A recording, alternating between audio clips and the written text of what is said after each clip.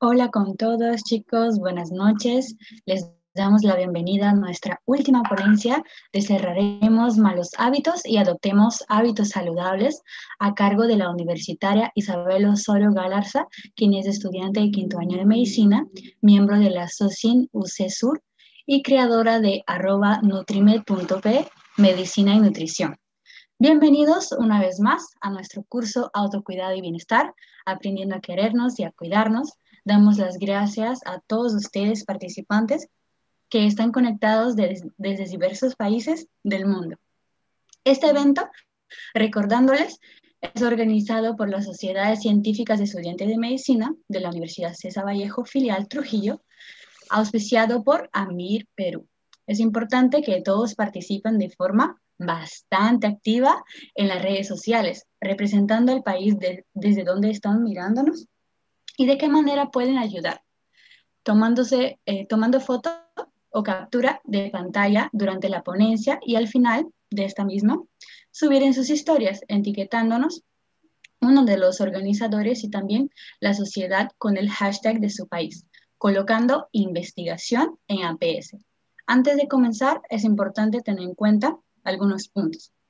El primero, no se debe llenar el chat con spam, o caracteres inadecuados, pues este es un seminario académico brindado por ponentes que merecen todo el respeto y consideración.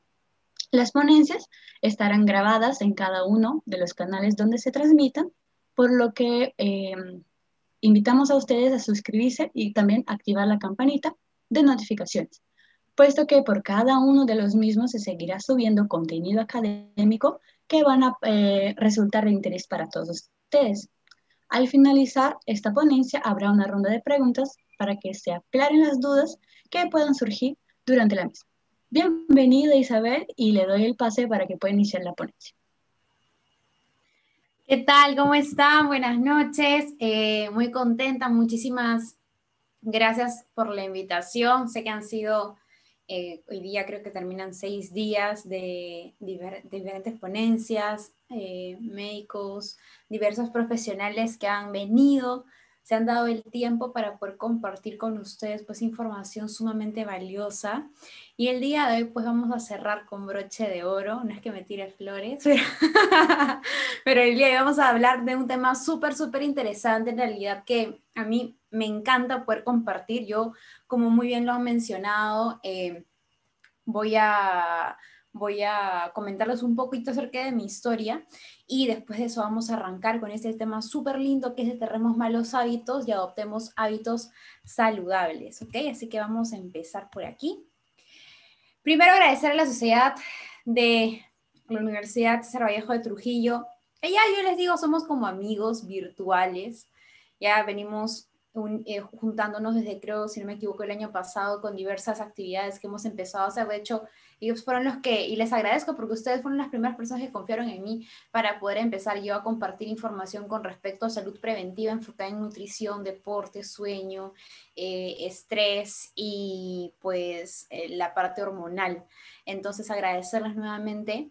Y acá está, chicos, su perfil síganos en Instagram, comparten información de forma constante, así como todo este programa que han venido desarrollando, ahí los pueden encontrar. Son una comunidad muy comprometida, una sociedad muy comprometida y con bastante, bastantes miembros activos, así que muy positivo por su lado. Ya saben, ahí los pueden encontrar. Y por mi lado también, aquí les voy a hablar un poquito de mi historia. Eh, yo me llamo, mi nombre completo es Rosa Isabel Osorio Galarza, pero todos me dicen Isa, así que para ustedes soy Isa Osorio. Yo creé hace algún tiempo esta página, soy estudiante de quinto año de la carrera de medicina, acabo de terminar quinto año, próximo año arranco el externado y estoy súper contenta, eh, porque una de las cosas que yo me di cuenta en la facultad fue que solamente nos enseñan, ¿no? O nos enseña principalmente nuestro enfoque en académico está orientado al área curativa, más no está orientado al área preventiva. En los últimos años se está viendo y se está empezando recién a poner mucho énfasis, o poco a poco en realidad de forma gradual, a que tener salud no significa simplemente ausencia de enfermedad. Entonces, eh, nosotros tenemos la capacidad, tenemos las herramientas de poder potencializar nuestra salud y llevarlo de lo ordinario a lo extraordinario. Y eso es algo que a mí me mueve mucho seguir en el área médica, ligada a la parte deportiva y nutricional, entre otras áreas que me gusta mucho estudiar, como es el área del sueño, es el área del control de estrés y, la, y el área endocrinológica porque todo ello comprende nuestro ser, ¿no? Nuestro ser, no solamente nosotros no somos cuerpo y ya, somos mente, somos espíritu, y nos suceden cosas, sentimos, percibimos y todo eso trae, aunque no creamos, trae un impacto en nuestra salud. Entonces, de una u otra manera, poder encontrar el balance individual nos va a poder ayudar a tener una vida mucho más feliz, ¿no? Y así poder lograr las cosas que personalmente cada uno quiere desarrollar en su vida. Es por eso que a mí me pueden seguir en Instagram como nutrimed.pe. Yo constantemente comparto contenido. Ahora, bueno, que ya nuevamente me reincorporé al gimnasio, fue una presencial pues con algunas rutinas y demás. Voy compartiendo en realidad mi día a día.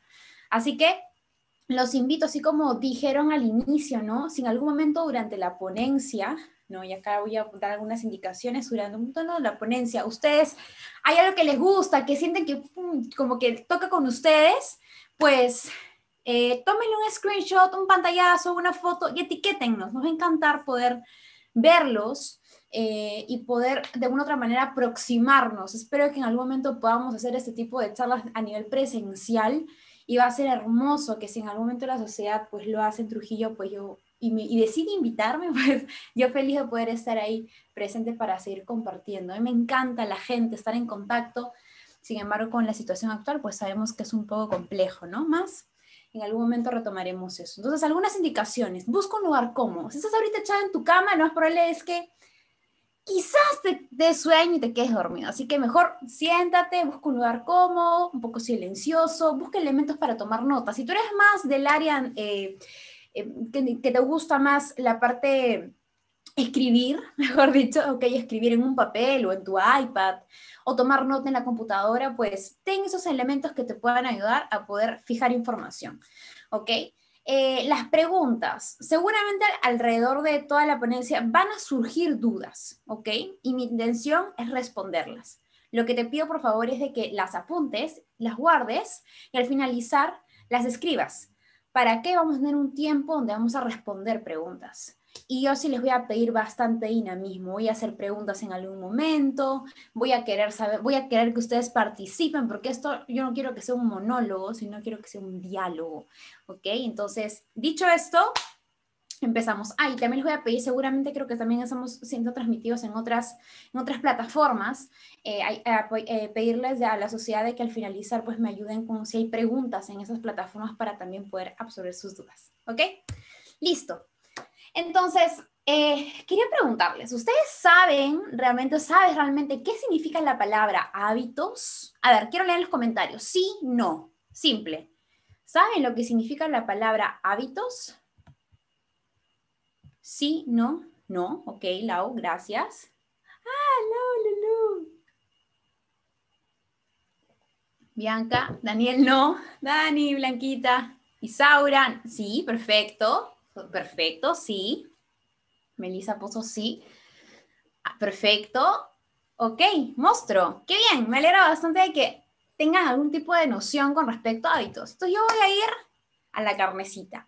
Vamos a analizar un poco el título de la ponencia. Cuando a mí me dijeron, Isa, queremos que hablemos acerca de desterrar malos hábitos y adoptemos hábitos saludables, la palabra desterrar me sonó bastante fuerte, ¿no? Y de hecho eh, empecé a investigar un poco si es posible desterrar hábitos o cómo funciona todo el mecanismo de formación de hábitos y me dijo una sorpresa de algo muy interesante que más adelante se los voy a compartir. Pero la palabra hábito, ¿ok? Quiere decir modo especial de procesar o conducirse adquiriendo por repetición, ojo, acá está la palabra clave, repetición de actos o acciones igual o semejantes u originado por tendencias instintivas. Eso quiere decir, nosotros somos seres de hábitos, aunque no lo creamos. No importa si es un hábito que te conduce a quizás resultados no tan agradables o hábitos que te conducen a resultados agradables. ¿Ok? Por ejemplo, si tú tienes el hábito de ahorrar todos los meses, ese, ahorro en algún momento se va a convertir en una cantidad sustanciosa que te pueda permitir quizás hacer algún tipo de inversión. Tienes el hábito del ahorro. Pero ¿qué pasa si la persona que todos los meses genera ¿no? dinero, al igual que la anterior, pero tiene el hábito de gastar todo lo que gana, ¿ok? O lo que hace. Entonces, esa persona no va a tener un fondo de ahorro, por lo tanto, no va a poder hacer inversión si es que en algún momento se le ocurre. O si pasa alguna emergencia, no va a tener un fondo. ¿Me dejo entender? Somos seres de hábitos en realidad. Otro ejemplo, eh, tú te levantas todas las mañanas y dejas tu cama desordenada, no la atiendes. ¿Eso que lleva? A que lo más probable es que tus tu gavetas de tu closet tampoco estén ordenadas. Porque hay una frase que dice, como haces una cosa, las haces otras. Pero si eres una persona de que tiene como hábito, ni bien se levanta a tender su cama, seguramente tu escritorio es un escritorio mucho más organizado. Seguramente tu closet es un closet mucho más organizado. Seguramente tu casa es una casa mucho más organizada. Entonces, eh, y así, ¿no? Personas que, por ejemplo, terminan de comer y se lavan los dientes. Tienen el hábito de la higiene por lo tanto, seguramente adquirir algún tipo de enfermedad bucal es menor versus la persona que nunca se lava los dientes y que seguramente cada año se le cae un diente. Me dejo entender, o tiene muchas curaciones por caries. Entonces, nosotros en realidad somos seres de hábitos y eso podríamos hablar de infinidad de, ejemplos. Y algo que a mí me parece súper interesante es que en realidad nosotros no podemos eliminar un hábito. Lo que podemos hacer es reemplazar hábitos. Si, por ejemplo, yo tenía el, primer ejemplo, ¿no? Yo tenía el hábito de no ahorrar todos los meses, pues a partir de ahora voy a empezar a ahorrar, no sé, el 10% de mi sueldo todos los meses. Y no es la cantidad, puede ser 10%, puede ser 5%, puede ser 2%. Lo importante es la acción repetida, como dice la definición, que a lo largo va a ser de que eso para ti ya sea automático, que tenga tendencia instintiva. Que al final tú digas, o sea, lo primero que llega a tu cuenta cada 30 son, imagínate, 10 mil soles. Perfecto, el 10% se va a mi cuenta de ahorro. Tú ya sabes qué es lo primero que vas a hacer. Cuando eso se convierte en automático, es porque ya se creó el hábito en ti. Cuando tú te levantes y lo primero que hagas sea medio dormido, tener tu cama, es porque el hábito de tener tu cama ya se volvió algo para ti como un instinto que si no lo haces, algo está faltando en tu vida, al igual que cualquier tipo de actividad, alimentarse de forma adecuada, ir a ejercitarte, tomar agua, etc. ¿Ok? Entonces, partiendo de esto, seguimos avanzando. Algo que a mí me encantan son los números, porque las personas te pueden decir muchas cosas, pero los números nunca mienten, las estadísticas nunca mienten. Los estudios que se realizan a nivel mundial con poblaciones muy grandes, sobre todo en el área de la salud, siempre se realizan diversos tipos de estudios porque se quiere conocer. Nosotros somos seres dinámicos, entonces en realidad siempre hay tendencia al cambio. En un estudio de Datum Internacional, la Red Win, eh, evaluó algunos aspectos relacionados al peso, estado físico y estado de ánimo. La gran mayoría de peruanos se considera saludables. Miren esto, me llamó mucho la atención esto. Mm, pero, uy, ¿qué pasó? No lo sé, Rica, en realidad parece falso. Que la gran mayoría de peruanos se considere saludable es algo muy subjetivo, pero vamos a los números. Algunas estadísticas. Por ejemplo, esta es la percepción general de salud. Supuestamente, ¿no? Acá vemos a eh, mujeres y hombres, ¿no? Que eh, el 68% de mujeres y 77% de hombres a nivel de Perú se consideran, tienen una percepción de que están en, o sea, en buenas condiciones de salud. ¿Ok? Ese es un perfil eh, total global y a nivel de América. Los segmentos que se autoperciben como más saludables son los que tienen una mayor educación, así como los más jóvenes también. Por lo tanto, se concluyó de que las personas que se autoperciben como más saludables son aquellas que cumplen como este requisito. Los peruanos mayores de 65 años son quienes practican comportamientos relacionados al cuidado de la salud a pesar de no autopercibirse como saludables. Es muy loco, ¿no? Porque nuestros abuelitos, quizás, ¿no? Ellos no están, quizás voy a hablar en términos de gran cantidad, no en totalidad, pero muchos de ellos son de la época donde aún no existían los productos industrializados como ahora. Yo, por ejemplo, no conozco muchos ancianos de que vayan a McDonald's o comer fast food siempre. No es parte, o ellos no tienen eso como hábito. Ellos prefieren zancocharse una papa, comer su pollito con ensalada, este, choclito con queso, ¿me dejo entender? A, a, otras cosas. Ya, por último, su pollito a la brasa. Creo que para ellos sería su fast food, ¿no? El pollo a la brasa o el chifa. Pero eh, por eso es de que la, ¿cómo se llama? Se evidencia cada vez población más longeva, ¿no? Eh, y sobre todo de esa época, de esa época, 80, 90 eh, y, demás, ¿no? Justo hace unos días leía un, señor de 121 años, que acaba de cumplir 121 años, que vive en Huánuco, en una ciudad muy, muy, muy alejada, y me quedé loca.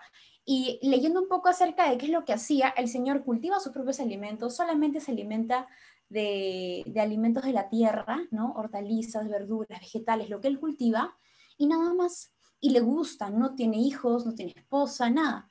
Y tiene una vecina que tiene 113 años, creo, algo así. O sea, y el entrevistador escribe y, comenta, ¿no? En, ese, en, en esa información que recaudó, que lo notaba como una persona en realidad de mucho menos edad. O sea, es muy loco cómo nuestros hábitos nos pueden dirigir hacia lugares a veces inexplicables. Aquí también se vio luego el comportamiento de peruanos con respecto al cuidado de su salud, ¿ok? Se concluyó con lo siguiente, que el 54% considera tener un buen peso en Perú. Y eso es algo que en realidad es totalmente falso.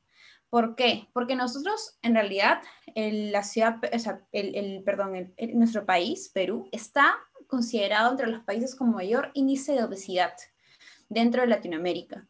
México también está ahí, ¿no? De hecho, México y Perú están por ahí que se quieren quitar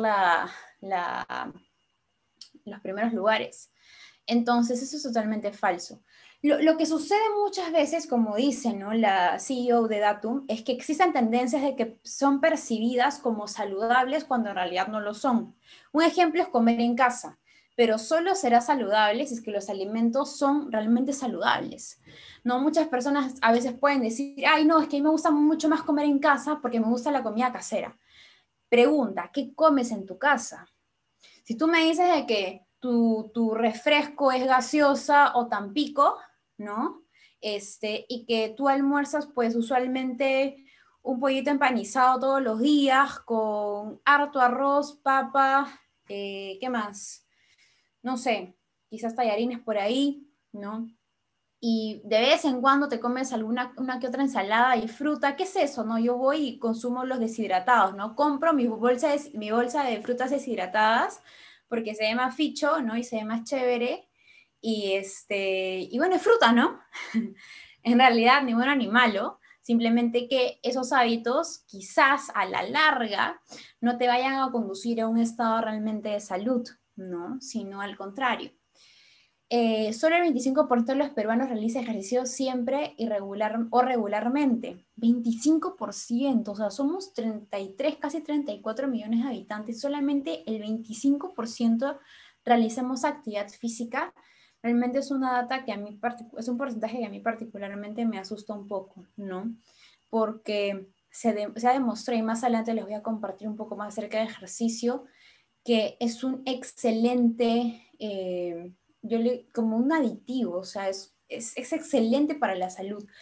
En cualquier, en cualquier este ejercicio que tú deseas hacer, siempre me preguntan, Isa, ¿cuál es el mejor ejercicio o deporte que puedo hacer? Mira, el que hagas, o sea, el que hagas, ese es el mejor para ti. Y busca lo que te guste, es lo más importante para que se pueda crear adherencia. Las mujeres realizan eh, menos actividad física que los hombres, sí se evidencia, lo puedo notar, por ejemplo, yo voy al gimnasio y la mayoría de personas de las cuales veo siempre son varones más que mujeres, casi siempre son muchos más hombres que mujeres, y los jubilados son quienes dedican más tiempo a esta actividad, ¿no? Sin embargo, yo creo de que ah, también se está viendo de que la población joven eh, está empezando, hay como que los extremos, ¿no? El extremo que YOLO, ¿no? Que no le importa nada y que quiere vivir su día como si fuera el último. Lo que no sabe es que él va a vivir mucho tiempo, ¿no? Y, y vas a vivir más como adulto y anciano que como joven. Y existe la otra cara de la moneda, que están los jóvenes que en realidad se, se, no se preocupan, sino se ocupan en tener una buena salud, ¿no? Y eso a mí me alegra bastante, porque eso quiere decir de que más adelante los hábitos que tú crees ahora vas a también transferirlos a tu familia. O sea, no que no te sorprenda que veas a una familia de personas que sufren de obesidad y que las próximas generaciones sean muy similares versus a familias de deportistas, que las próximas generaciones también lo son. Entonces, yo considero de que si nosotros empezamos a entrar en un estado de conciencia referente a las datas que estamos viendo y a todo lo que se va manifestando, porque estamos a un clic de la información, podemos hacer grandes cambios para el mundo de un futuro. Y no tan lejano, ¿ah? muy cercano en realidad, porque el tiempo vuela y nos hemos dado cuenta en los últimos años qué rápido pasa. Acá también la frecuencia de compras con productos basados en dietas. Y acá es un tema un poco a veces de controversia porque las personas piensan muchas veces de que llevar un estilo de vida saludable, voy a enfocarme ahorita en la parte nutricional, es cara.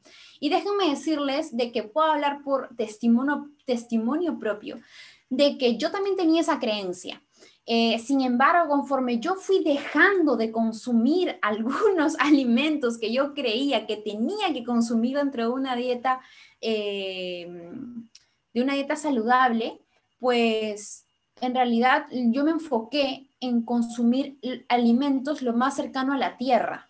Esto quiere decir, todos los tubérculos que, encuentre, trigo, arroz, este, frutas, verduras, em, fuentes de proteína de animales, ¿no? Fuentes de proteínas de vegetales y darme la oportunidad de probar alimentos, ¿no? Darme la oportunidad de probar alimentos, porque lo que de chiquita no me gustaba, de grande me di cuenta de que, oye, es rico, es diferente, y me di cuenta también de que a veces la forma como se prepara la comida puede influenciar mucho eh, en el paladar. Y les quiero contar eh, una, un ejemplo que nos dio eh, mi profesora de nutrición, cuando llevé el curso de nutrición en la universidad, y es que un día a ella le dejaron a su sobrinita de dos años, creo, a, su cuidado. Ella es médico también, mi profesora. Y llegó, pues, ¿no? Las cuatro de la tarde y la bebé tenía que comer su papilla. Entonces, ella la sienta, ¿no? Calienta la comida que le habían dejado sus papás y intenta, ¿no? De todo, el avioncito, que esto, que el otro, bla, bla, bla. Y la niña no comía la comida. O sea, y el profesor se empezó a, como que a preocuparlo, pero ¿por qué no quiere comer? Se ve rico, ¿no? Hasta olía rico. Pero dijo, a ver, probaré. Probó. Amigos, no sabía a nada. Era cualquier cosa, o sea, imagínense, ¿no? Era feo, en realidad ella dice que era feo. Le faltaba sabor. Entonces, lo que hizo fue agregarle un poco de leche a esa papa, le puso un poco de sal lo mezcló y la niña un poco más se come todo el plato. Entonces a veces pasa de que en realidad no sabemos cómo preparar los alimentos, por lo tanto queremos optar por eh, alimentos ya preparados o precocidos y todo ello, que en realidad no es, nos puede ayudar en un tema de ahorrar tiempo en el corto plazo, pero en el largo plazo nos puede traer algún tipo de problema a nivel del organismo. ¿Ok? Porque usualmente son alimentos, es que no son congelados, ¿no? Que son netamente ese alimento, eh, a veces contienen pues muchos aditivos y demás, que nuestro cuerpo no tiene la capacidad para poder metabolizarlo, ¿no? Y se quedan como residuos en nuestro cuerpo que podría ser a la larga los detonantes de algunas enfermedades que aún son desconocidos, ¿no? Entonces, mejor prevenir en ese aspecto. Ahora, un pequeño paréntesis. ¿Sabes realmente qué significa la palabra dieta? Porque la he dicho como varias veces acá y a veces hay como conceptos, ¿no? De, dieta. Pero quisiera saber, ¿ustedes realmente saben qué significa la palabra dieta? A ver, los leo en los comentarios. Solamente un sí o un no. Balance, ok. Sí, Joana dice que sí sabe, perfecto.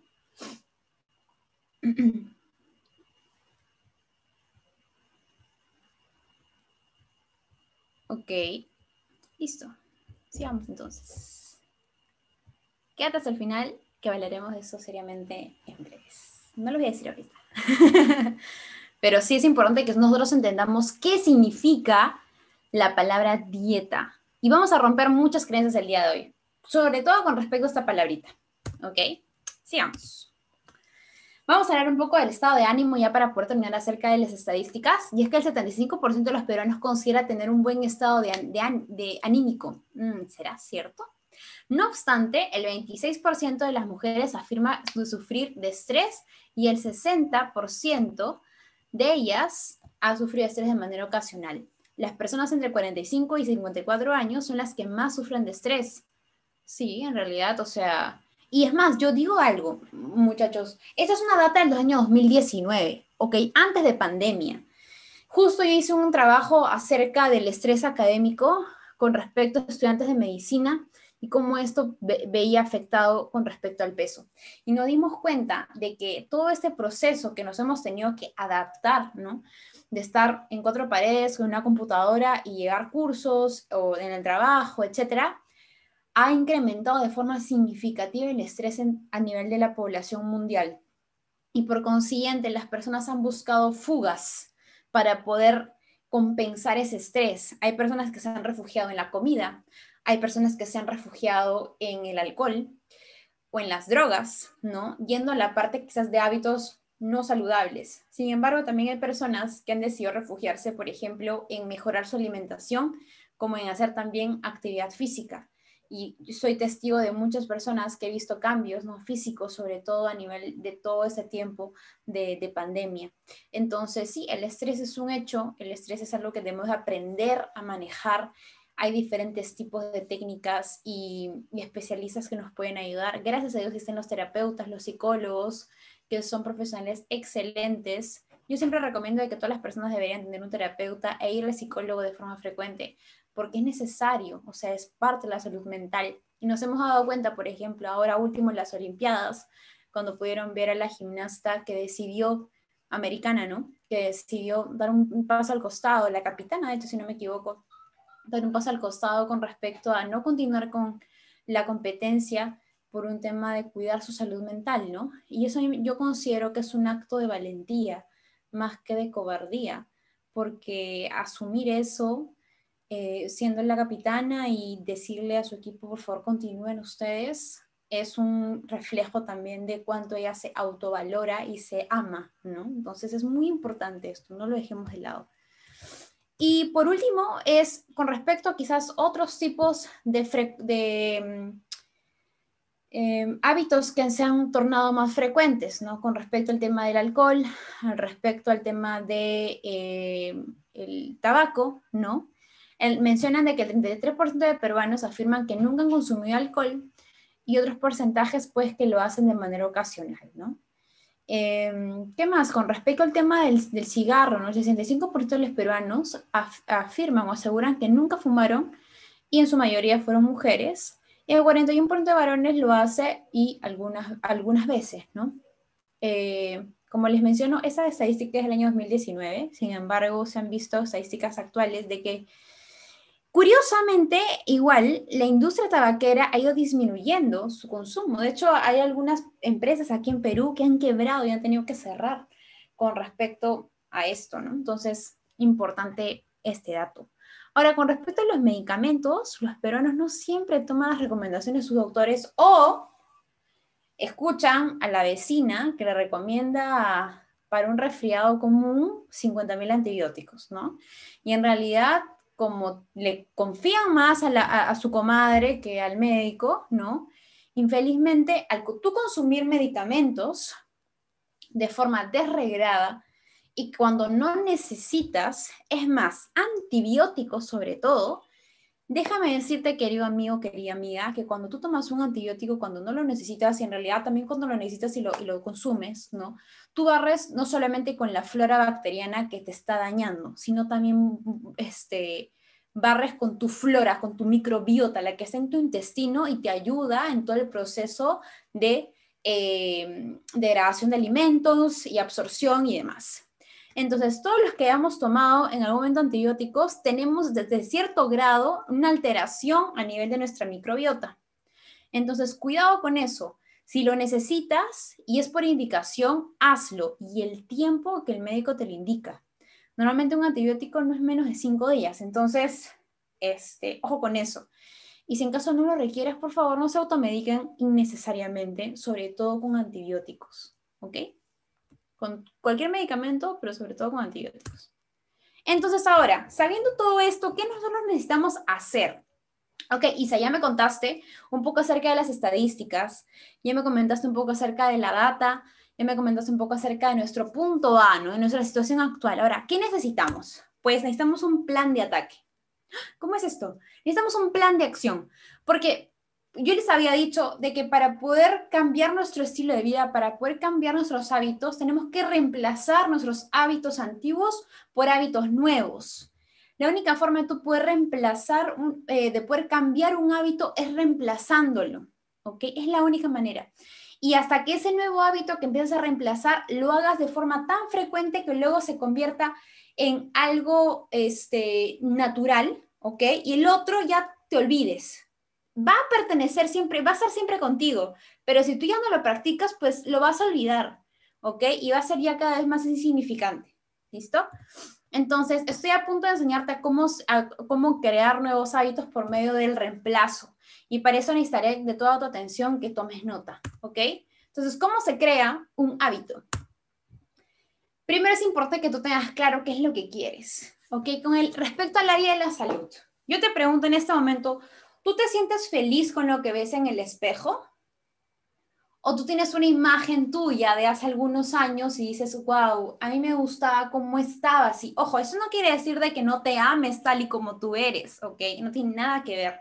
Pero yo te pregunto, ¿tú te sentirías mejor o quizás, quizás hasta con más autoestima, ¿no? Este, con más seguridad de estar en una condición física, mental diferente?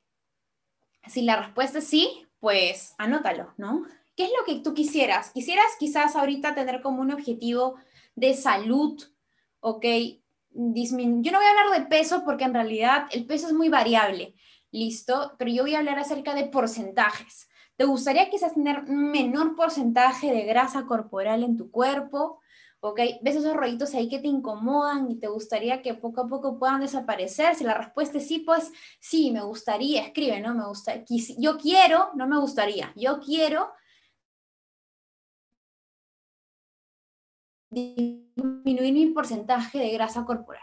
Fuerza, quisieras tener más fuerza, quisieras poder levantar tranquilamente, no sé, este, 10 kilos, 20 kilos, quizás cargar a tu enamorada sin que no te duelen los brazos o la espalda, ¿no? Quisiera ser más funcional. ¿Qué es lo que te mueve a ti para poder hacer un cambio? Porque si tú realmente estás acá, en esta charla, es porque seguramente algo te llamó la atención del título, ¿no? O están acá obligados para poder completar las exponencias y poder participar de Bueno, espero que haya doble motivación entonces. Este, es muy importante que determinamos qué es lo que quieres, porque si tú no sabes qué es lo que quieres, no si alguno de ustedes ha visto la película este, Alicia en el País de las Maravillas, cuando ella llega y se aparece el gato, ¿no? Y ella no sabe por qué camino ir. Y el gato le pregunta, ¿a dónde quieres ir? Y ella le dice, pues no sé. Y el gato le dice, entonces cualquier camino te sirve porque así funciona nuestra vida. O sea, si tú no sabes hacia dónde quieres ir, qué es lo que quieres alcanzar eh, con algún área específica de tu vida, pues no tienes claro eso. Y acá la palabra clave es claridad. Cualquier camino te funciona, cualquier camino te sirve, porque no sabes qué camino elegir. Entonces, no es lo mismo, por ejemplo, que tú me digas, quiero disminuir mi porcentaje de grasa corporal, ¿ok? Que es estar más sequito, ¿no?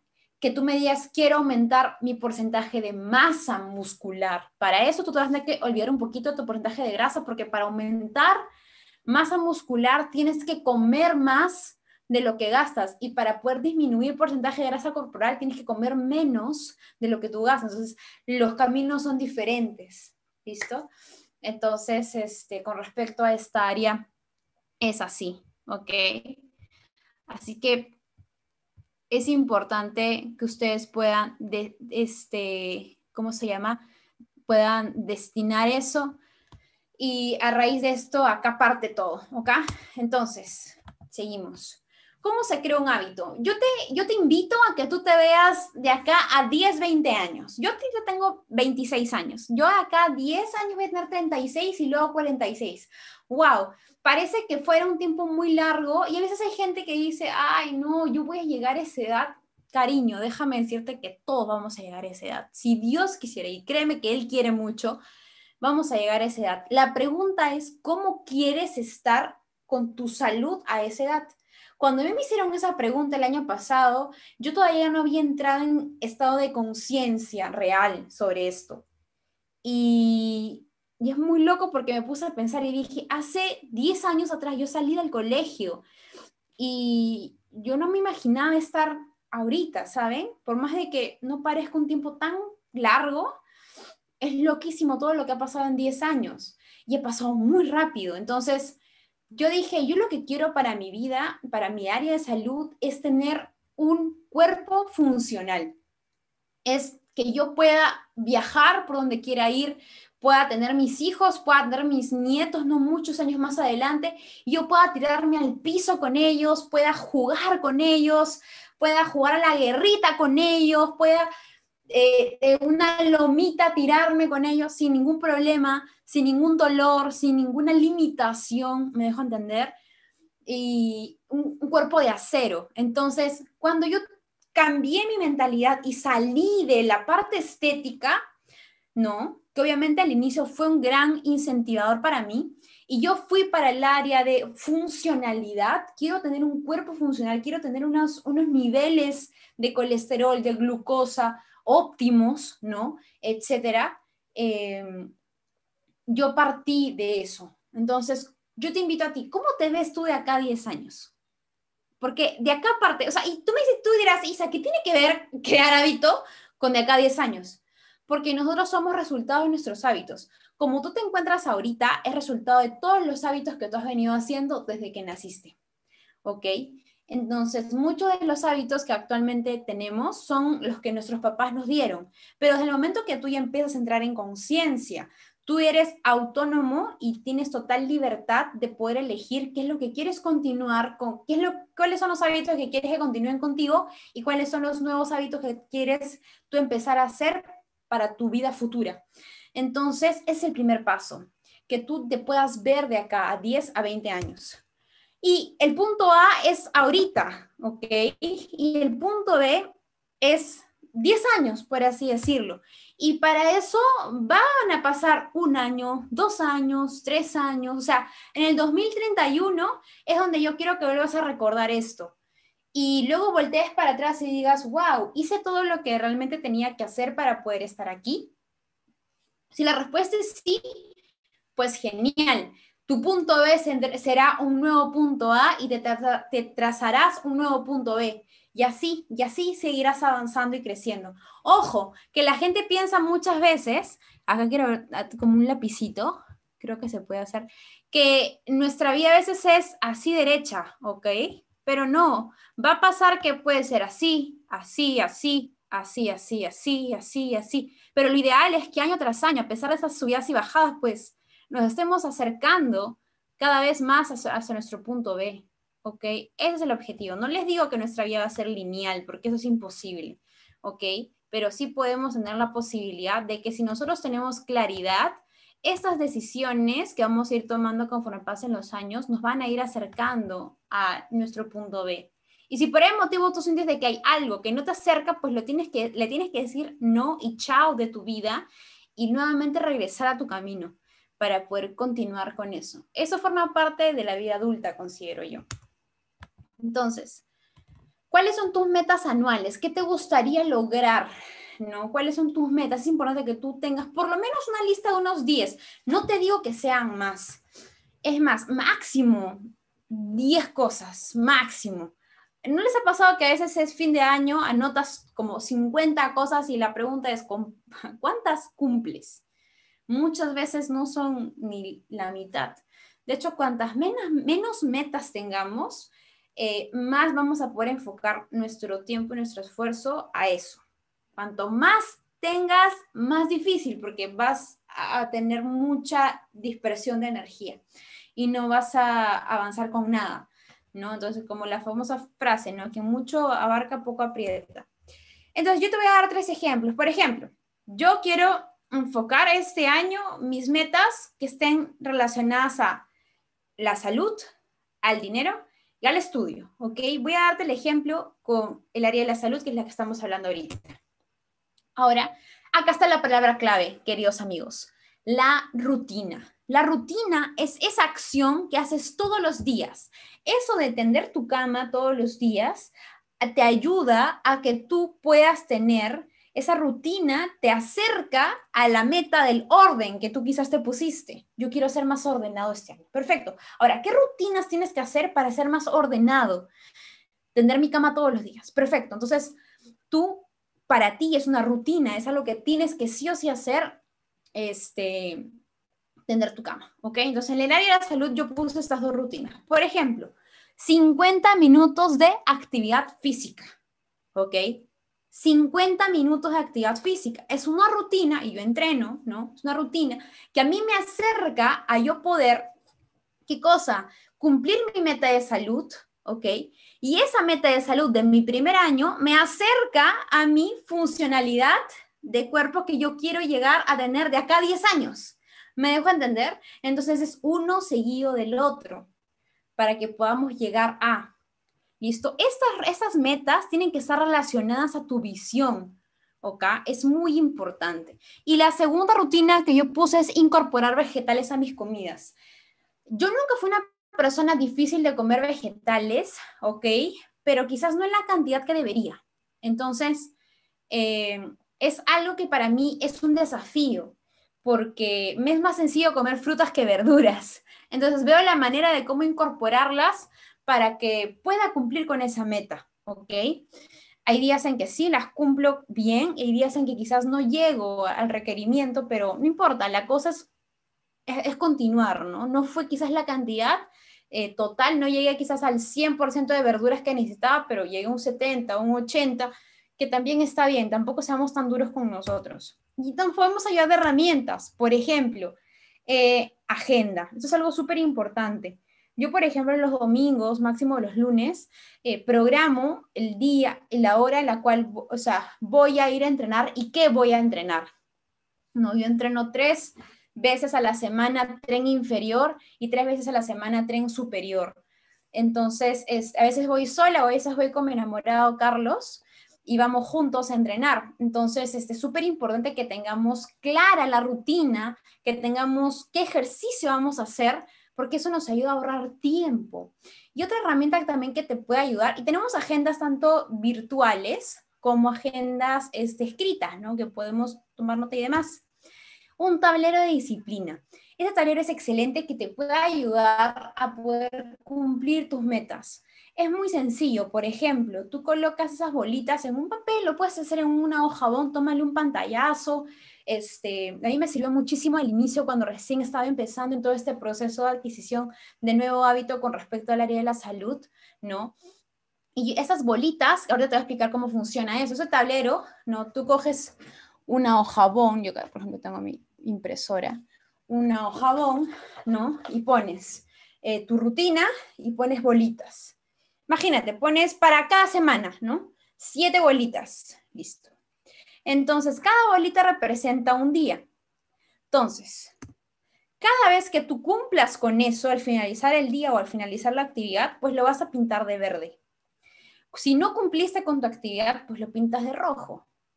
Y acá es algo más que todo es una es un autofeedback, es una autoalimentación, autorretroalimentación. ¿Ok? Acá es donde tú te vas a dar cuenta cómo estás avanzando. Eso es algo para ti. Y es buenazo porque la idea, nunca, quizás, o sea, lo ideal es que todo sea verde. Pueden haber momentos en que no todo va a ser verde, pero si todo está rojo es también no hay compromiso. ¿Me dejo entender? Entonces, procura de que la mayoría de veces sea todo verde. ¿No? ¿Vas a tener días rojos? Por supuesto. Entonces, tampoco seamos, como dije anteriormente, tan duros con nosotros, ¿no? poco a poco vamos a ir logrando que ese tablero sea cada vez un tablero mucho más, eh, mucho más verde. ¿Ok? Entonces, eso era importante que yo quería que ustedes puedan entender, porque de nada sirve, chicos, familia, amigos, de que yo venga y les diga, sí, esas son las 15 herramientas o son los los 15, este, los 15, 15, tips que yo les voy a dar para que puedan tener un mejor vida de hogar, si es que ustedes no entienden realmente el para qué, el por qué. O sea, ya Isa, o sea, ¿por qué voy a hacer esto? O sea, ¿cuál es la finalidad? ¿Cuál va a ser el beneficio que voy a traer para mí? Entonces, yo ya te estoy explicando cuánto, y hay una frase que a mí me gusta mucho ya para poder cerrar esto, y es, Cuanto más disciplinado tú seas, más libre vas a ser. Y la disciplina se forma con rutinas. La disciplina se forma con metas y objetivos. Cuanto más disciplinado seas, más libre serás. Acuérdate eso, hasta con un mantra. Yo, yo siempre lo leo y lo tengo ahí escrito. Cuanto más disciplinada seas, más libre serás. Entonces es súper importante que esto lo, lo extrapolemos a cualquier área de nuestra vida a veces nosotros sobreestimamos lo que podemos hacer en un corto periodo de tiempo y menospreciamos o subestimamos lo que podemos conquistar en un largo espacio de tiempo. A veces nosotros queremos hacer mucho en muy poco tiempo y no se puede, o sea, cortemos esa ilusión.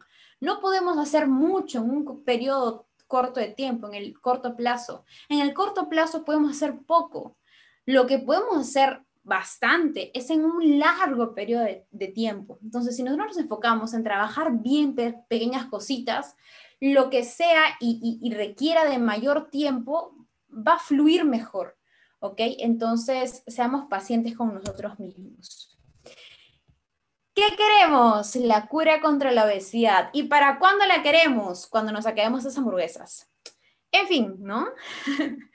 Eso es algo que me gustó bastante y le quería compartir con ustedes. Porque acá, sí, muchas personas a veces quieren, ¿no? Sí, yo quiero esto, yo quiero, pero ¿para cuándo? Pero ¿cómo? ¿No? Y es difícil a veces tomar decisiones, pero yo creo que más difícil es no tomar esas decisiones, porque no tomar decisión, no tomar alguna decisión, también estás tomando no tomar esa decisión, me dejo entender. Entonces, eh, parece un juego de palabras, pero es muy cierto. Y es muy importante que seamos conscientes y responsables con nosotros mismos. Un pequeño paréntesis, ¿saben realmente qué es lo que significa la palabra dieta? Aquí va la respuesta. No me había olvidado. Voy a tomar un poquito de agua. Y miren, en realidad no es nada del otro mundo. La dieta no es nada más y nada menos que toda la comida que consumes en una ventana de tiempo de 24 horas. O sea, eso quiere decir de que todos en esta sala, estas 37 personas que estamos aquí en Zoom y no sé cuántas personas más en otras plataformas, todos, absolutamente todos, hacemos dieta. Porque la palabra dieta nada más y nada menos significa de que todo lo que consumes en cuanto a comida en un periodo de 24 horas. Ahora, la pregunta es, ¿la dieta que tú consumes te acerca o te aleja del objetivo que tú tienes? Y de otra pregunta, no sé si te has dado cuenta, pero hay personas que tienen una dieta para volverse diabéticos. Gente, por ejemplo, que consume muchos productos refinados, azúcar en cantidades industriales, ¿no?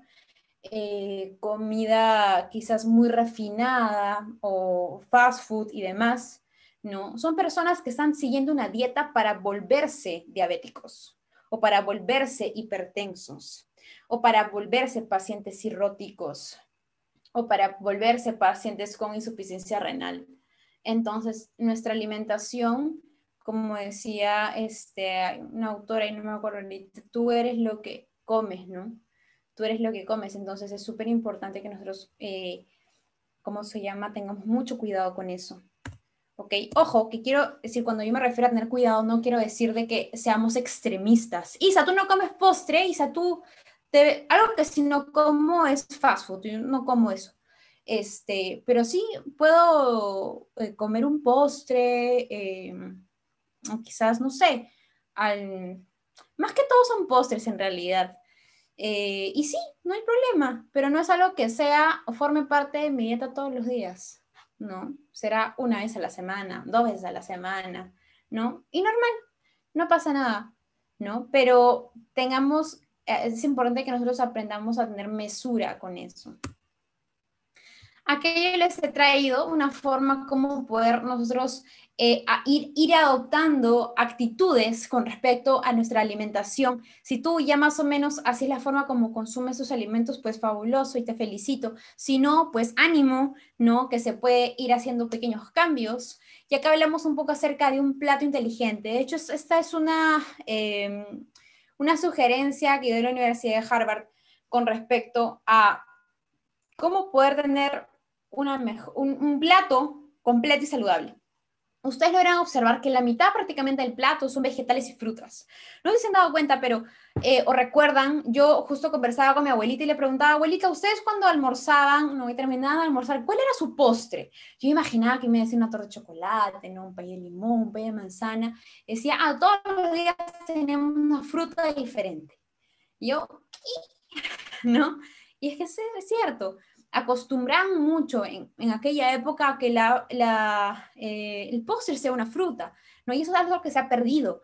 Entonces, este, incluso hay creencias, ¿no? De que si te vas a comer la fruta junto con el almuerzo se va a podrir, ¿no? En el estómago. Eso es falso, queridos amigos, es falso, ¿ok? No, no existe eso, así que es una creencia que se tenía, pero no. Entonces, ¿se puede comer fruta como, como, como postre? Por supuesto. La fruta que más te guste, excelente. Vegetales, procura que sean vegetales frescos o cocidos, los que a ti más te gusten. La cosa es que los incorpores. Granos integrales, como por ejemplo arroz, legumbres, etc. Y proteínas, proteínas de fuente ya sea animal o vegetal. Seguramente aquí quizás tengamos amigos que sean vegetarianos, veganos, ¿no? Ellos conocen, hay diferentes fuentes ricas eh, de proteína vegetal em, completas, ¿no? O se pueden complementar y las animales, ¿no? Que son de una mayor biodisponibilidad, sin embargo, también pueden tener algún tipo, quizás también tienen un poquito más de grasa, ¿no? Y, dependiendo de la, la, persona, ¿no? Cuáles sean sus objetivos, pues, y cuáles sean sus estados basales de colesterol, glucosa, y otras quizás patologías, no sé, endocrinológicas u otras enfermedades. A veces las mujeres con síndrome de ovario poliquístico hay que tener ciertos cuidados con respecto a la alimentación y algunas, mm, algunos matices, ¿no? Pero en líneas generales, esto es lo que se debería consumir. Ahora, con respecto al tema de los aceites y grasas, eh, no tengamos miedo a los alimentos en general, ¿ok? A veces veo personas de que les da miedo a veces echarse un chorrito de aceite de oliva, es muy rico en omegas, es necesario que nos lo consumamos. Pescados, también los de piel negra, oscura, que contienen muchos omega 3, omega 6, que son aceites excelentes para nuestra salud, frutos secos, pero hay que tener, hay que tener como que eh, un control con su consumo, ya que los aceites, las grasas en general, grasas saludables, ¿ok? Tienen un mayor aporte calórico, mientras que las proteínas y los carbohidratos te aportan 4 kilocalorías por gramo, las grasas te aportan 9 kilocalorías por gramo, o sea, es el doble más uno. Entonces, si bien es algo es importante consumirlo, sí, pero con moderación para tampoco excedernos. Por eso es que ahí más o menos em, te mencionan cuánto, ¿no? Y ahorita les voy a mencionar, les voy a mostrar otra imagen que nos puede ayudar mucho mejor para poder calcular al ojímetro, ¿no? Eh, nuestra comida. Y beber agua. Más adelante voy a hablar un poquito acerca del agua, pero es fundamental hidratarnos, ¿ok? Y acá hay una forma mucho más sencilla quizás de poder, eh, de poder entender esto, ¿ok? Y dice acá, ¿no? El secreto para medir las porciones de tu dieta está al alcance de tus manos. Ustedes harán, ¿no? Tiene, hay manos más grandes, hay manos más chiquitas, y es proporcional a nuestro cuerpo, entonces nos puede ayudar excelentemente para poder eh, medir la cantidad de alimento que nosotros necesitamos. Tómale un pantallazo, guárdalo y te vas a dar mucha ayuda. ¿Ok? Uy, no puedo Entonces, en realidad no son siete, son once recomendaciones claves y no solamente que sea ligadas a la nutrición, sino también a otras áreas de nuestra vida que compenden todo lo que se denomina salud. Lo primero es mantener una adecuada hidratación, ¿ok? Eh, es importante que entendamos de que el agua, nosotros somos aproximadamente entre 60 a 70% agua, ¿ok? Muchas funciones que si no son casi todas bioquímicas en nuestro cuerpo, requieren de agua para poderse desarrollar con eh, eficiencia. ¿Listo? Entonces es súper importante que nosotros aprendamos a hidratarnos y optemos por el agua, ¿ok? Eh, si bien es cierto, los vegetales, las, verduras, eh, perdón, las frutas también contienen cierto grado de líquido, los mismos alimentos que son, parecen secos también tienen agua, eh, nada va a reemplazar al agua en su estado puro, ¿ok? Entonces, voy a dar un pequeño, una pequeña apreciación con respecto a si tenemos ancianos en casa, es importante que les induzcamos a, hidratarlos de forma constante. ¿Por qué? Un ratito voy a hidratarme, aprovechando porque ya se me está secando un la garganta. Sucede lo siguiente. Fisiológicamente, eh, cuando nosotros empecemos a envejecer, empezamos a perder muchas funciones de nuestro cuerpo. Eso es normal. Una de las funciones que perdemos, por ejemplo, los ancianos, es que no les da sed empiezan a perder esas ganas de tomar agua. No tienen, o sea, ellos se pueden quedar sin beber días de días y no les da sed. ¿Ok? Y es un tema más a nivel de neuro, este, este neuros, bueno, a nivel central, ¿no? Entonces, es parte del envejecimiento, es la fisiología del envejecimiento. Otra cosa que ellos tienen es que empiezan a perder el gusto por, los alimentos. O sea, no que no les guste, sino que ya no sienten lo mismo. O sea, el aderezo que para ti está ok, para ellos les falta un poquito de sal o quizás no está tan fuerte el sabor. Entonces, en ellos hay que buscar la manera de quizás condimentar un poquito más los alimentos para que sea más gustoso para ellos y puedan comerlo y ellos también pues están en un proceso de catabolismo más acelerado. Esto quiere decir de que su metabolismo, por así decirlo, es un poco más rápido. Paréntesis, no existe metabolismo rápido ni tampoco existe metabolismo lento, ¿ok? Simplemente lo digo por un tema de ejemplo, que sus procesos biológicos son más rápidos, ¿ok? Mientras que alguien que es más joven es un poco más lento ese proceso, ¿ok? Entonces, por eso es importante de que esa es una población de riesgo. Los ancianos son una población de riesgo con respecto a la hidratación. ¿Listo? Entonces es importante de que se mantengan hidratados. Eh, hiervan el agua. Es súper importante. Si tienes filtros en casa, yo recomiendo hiervan el agua, porque la temperatura, el estado de ebullición es un proceso de esterilización y mata organismos. ¿ok? Así podemos evitar la contaminación principalmente por parásitos y bacterias, quizás también a nivel de eh, la contaminación del agua, ¿ok? Si la persona le gusta más el agua embotellada y tiene las condiciones financieras para poder hacerlo, pues genial, no hay ningún problema, ¿ok? Eh, si hay un tema también de que no le gusta quizás tomar agua, pues con infusiones. Las infusiones pueden ayudar muchísimo con eso. ¿Listo? Entonces seguimos. Uy, esto acá fue algo súper polémico.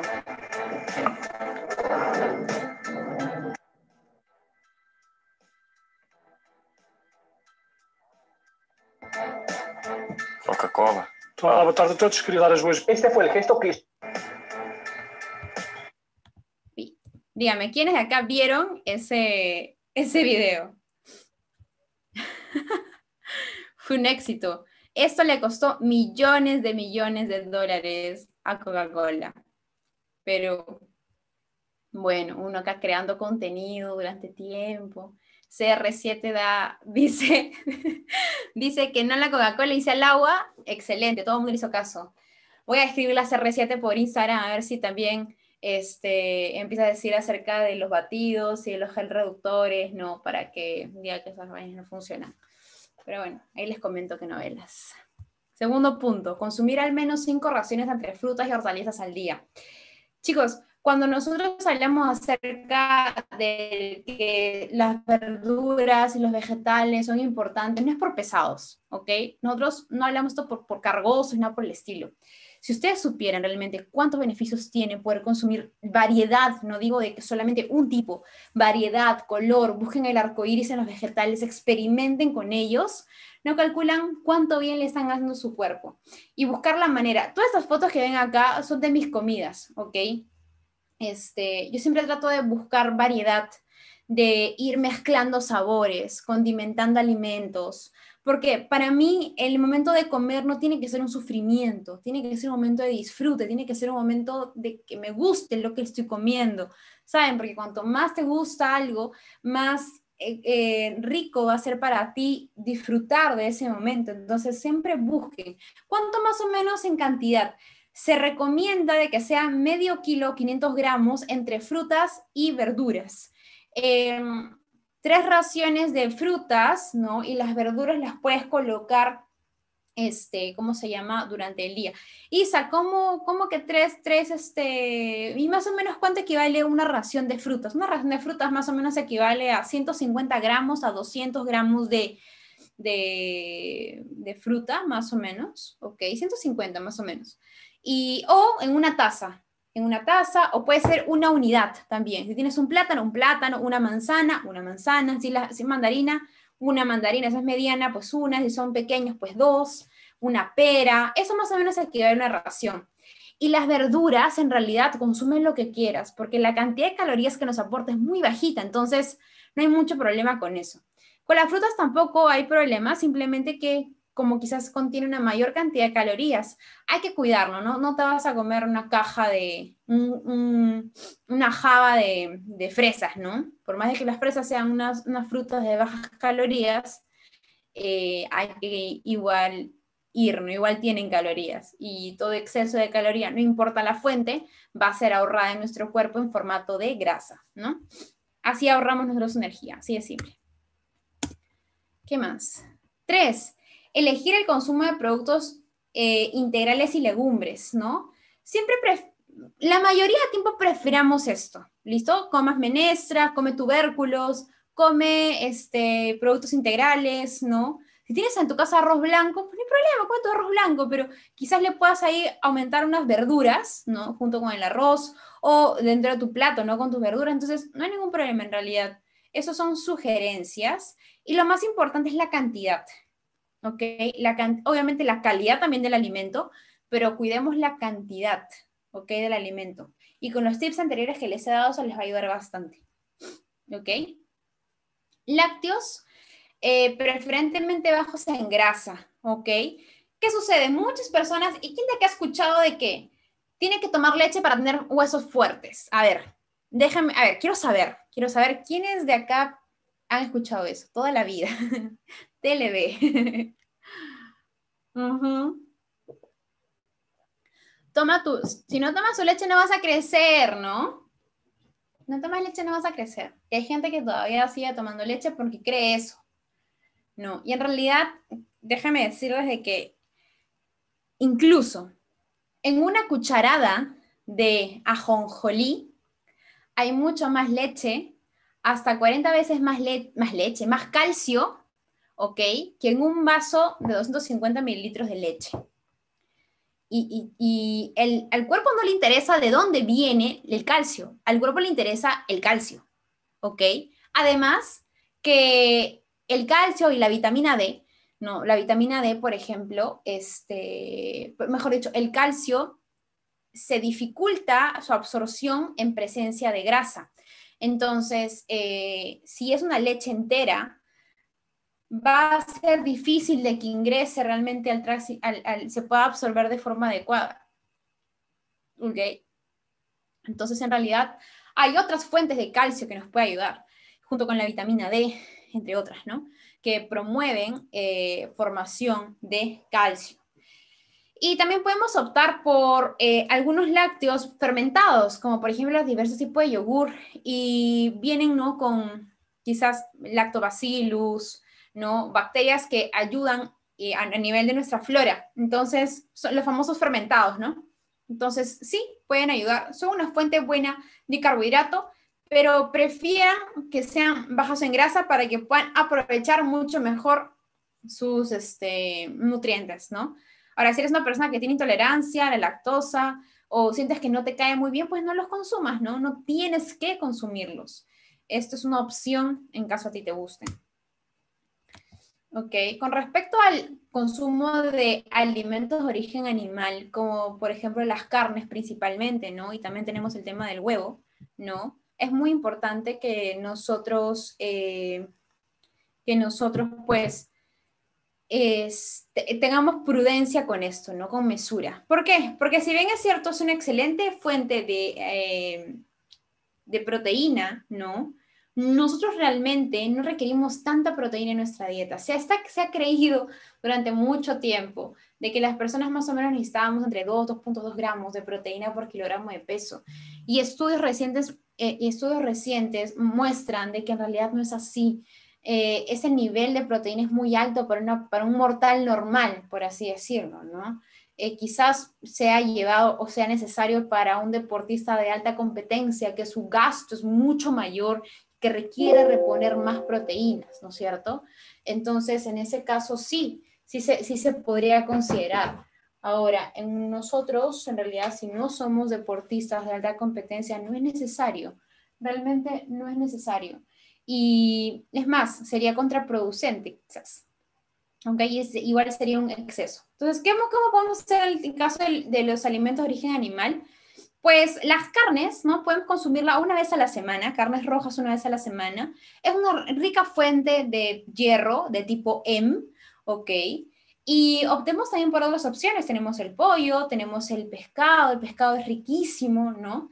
Eh, no sé qué otras fuentes también podemos tener, eh, la pavita, eh, el pavo, etcétera, ¿no? Entonces, hay opciones, ¿no? Mira lo que se acomode más a tu bolsillo, si tienes la opción. En el caso de los huevos, ok, eh, el consumo del huevo, ahí quizás me vaya a topar con algunos huevos lovers, ¿no? Eh, yo era una de ellas, ok, yo consumía muchos huevos antes y ahora pues he tenido que readecuar mi alimentación con respecto al huevo. El huevo la clara es una excelente fuente de eh, albúmina, que es una proteína de un altísimo valor biológico, ¿ok? Que es excelente. El tema está un poco con el, la yema, ¿ok? Y no quiero decir de que la yema sea mala, no, no, no, no, nada que ver. Nuestro cuerpo, nuestro organismo, más o menos necesita unos 300 miligramos de colesterol uh, diarios, ¿ok? Ese consumo está ok, está perfecto. Una yema te da 200 miligramos. O sea que con una yema y media ya estás con tu requerimiento. ¿Ok? Con respecto a esto. Listo. ¿Qué pasa con aquellas personas que comen 8, 6? Yo era de esas. Yo comía, me acuerdo, hace el año pasado llegué a comer hasta 8 huevos enteros. O sea, yo volaba con la cantidad de, de, de yemas, me dejo entender. Y eso de alguna u otra manera también trajo o pudo de una otra manera dar un impacto a, a cómo se llama, a mi área del colesterol, ¿no? Entre otras cositas. Entonces, cuidemos mucho el tema del consumo de, de, la yema, no nos excedamos, una yema, dos al, al, al, día, está perfecto. Además que la yema también tiene excelentes fuentes de otras vitaminas, ¿ok? Vitaminas y minerales, es una excelente, muy completa, ¿ok? Pero tampoco nos emocionemos mucho. Ahora, elige fuentes buenas de grasa. ¿Ok? Acá tenemos, por ejemplo, ¿no?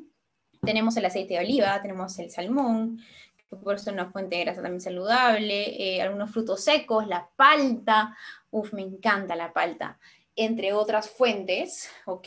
Pero acá también con mesura, porque como les dije anteriormente, ¿no? Eh, es, son, son alimentos de un alto valor calórico. Entonces, si bien es cierto, debemos consumirlos, ¿ok?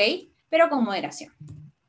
Evitar alimentos precocidos o comida rápida.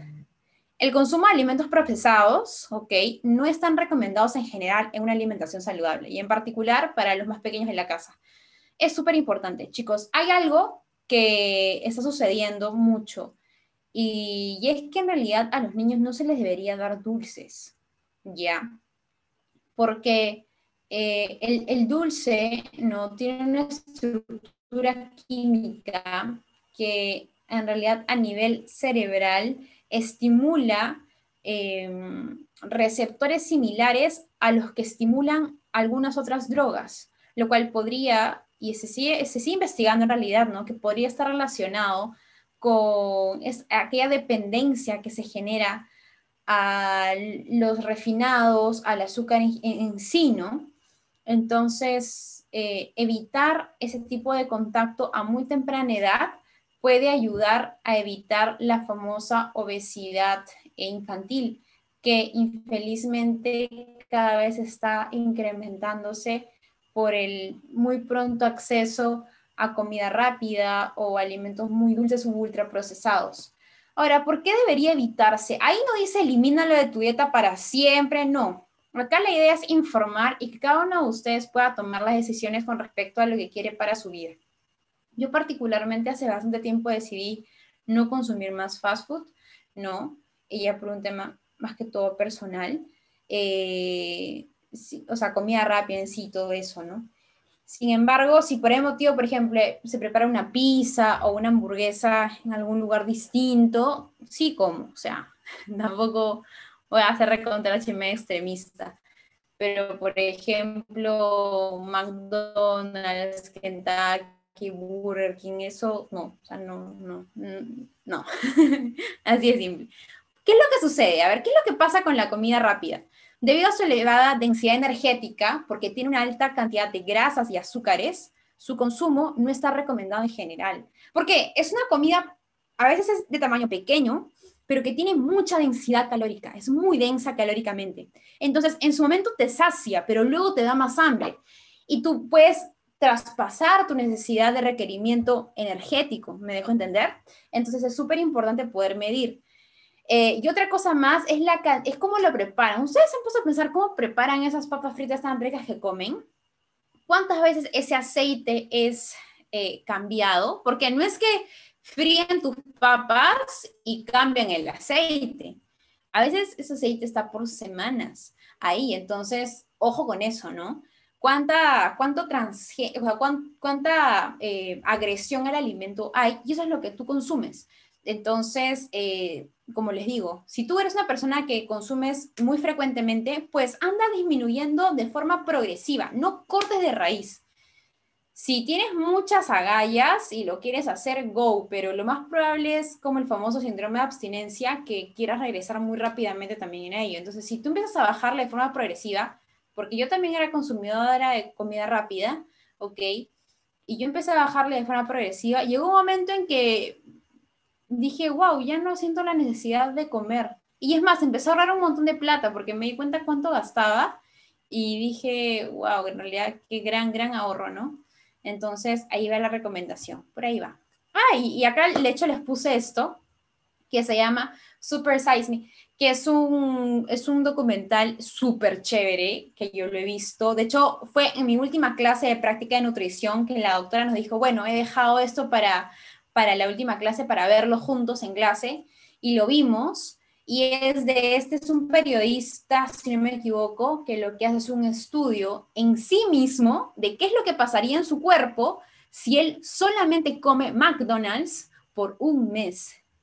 Y él comía mañana, tarde y noche, o sea, sus tres comidas principales, solo era, o sea, durante un mes solamente comió McDonald's. Y los invito para que puedan verlo y puedan pues sacar sus propias conclusiones. Reducir el consumo de sal.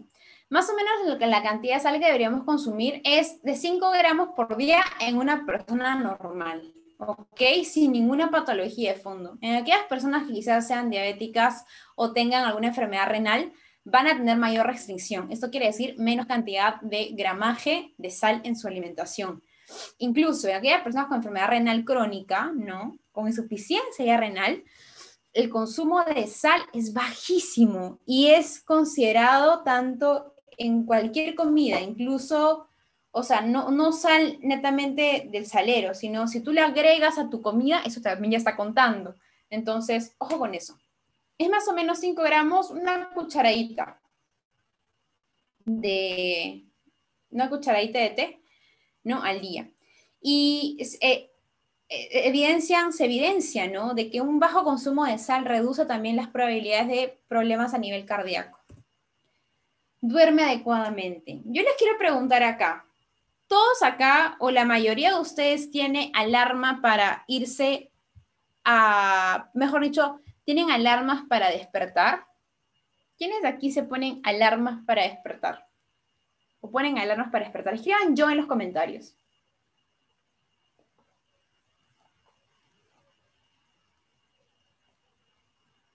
Daniel dice yo, Florencia dice yo, Yanina dice yo, Angélica dice yo, Perfecto, Joana también dice yo. Súper, gracias chicos.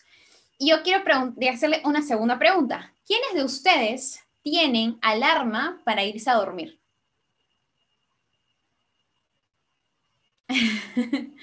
¿Quiénes de ustedes tienen alarma para irse a dormir? Si tienes alarma para, irse para irte a dormir, yo pero la ignoro. Este, yo también tengo mi para irme a dormir a veces también la ignoro, pero ahí estamos, en la, en la lucha, en la pelea. No, mentira. Es súper importante, chicos, que tengamos una hora para irnos a dormir, o por lo menos un periodo de tiempo donde ya nosotros sepamos que nos tenemos que ir a dormir. Por ejemplo, doy mi, doy mi caso. Yo, mi franja de tiempo para irme a dormir es entre las 11 de la, entre 10 y media a 11 y media de la noche. ¿Hay días en que me paso un poco? Sí, me paso. O sea, cada vez estoy como que un poquito más cerca a ello. Pero eh, es importante que aprendamos a organizarnos con respecto a eso, ¿no? ¿Y por qué he puesto esta imagen? Porque nosotros durante el sueño tenemos fases, ¿ok? Existe lo que se llama sueño REM y existe algo que se llama sueño no REM, ¿ok? Y si se dan cuenta, en la fase 4 del sueño no REM es donde se da el sueño profundo o reparador. ¿Ok? Aquí es donde nuestro cuerpo se repara. Es donde nuestro cuerpo dice, Chepi, vamos a reparar todo. Así como el carro necesita ir cada cierto tiempo al servicio técnico, nuestro servicio técnico personal se da todas las noches con nuestro sueño. Pero necesitamos un sueño de calidad. Necesitamos hacer una higiene de sueño de forma constante. Y de hecho, adecuar nuestro ambiente. Eh, la oscuridad es muy importante. De nada sirve que tú te, eches en tu cama y seas con tu celular. O sea, no, no funciona de esa manera. ¿Por qué? Porque no vas a ayudar a la liberación de una hormona que se llama la melatonina. La melatonina es la hormona del sueño y esta se activa con la oscuridad. Cuando todo está oscuro, esta hormona se activa se empieza a liberar y te ayuda a entrar a la fase 1 del ciclo del sueño no REM.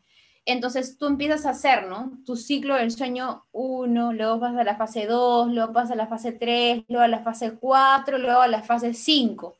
Todo esto significaría un ciclo, un ciclo de sueño. O sea, todo esto en conjunto equivale a un ciclo del sueño.